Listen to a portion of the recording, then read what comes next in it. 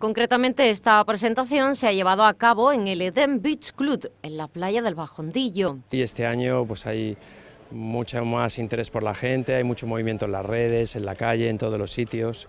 Tenemos un año más, un, sitio más, un día más para celebrar, que es el lunes.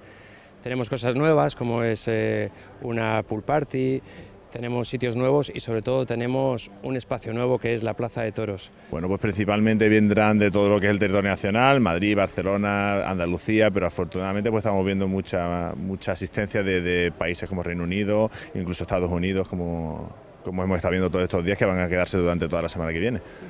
Claro, mueve turistas, mueve gente de todas las edades, mueve gente joven, pero mueve también gente mayor y sobre todo también pues genera empleo, hace que los hoteles, que los comercios, que los chiringuitos y los restaurantes también pues eh, tengan un mayor número de visitantes y por tanto también se genere empleo dentro de la ciudad. Entonces yo creo que el ocio y los complementos al, turismo tienen que ser fundamentales en una ciudad en, cuya industria es precisamente el turismo. Vivimos de los visitantes, de las personas que vienen a vernos y tener una fiesta durante una semana dirigida a un público concreto, que además es un público pues que siempre siempre se ha entendido que tiene un nivel adquisitivo medio alto, yo creo que es algo pues, que es realmente positivo para, para nuestra ciudad.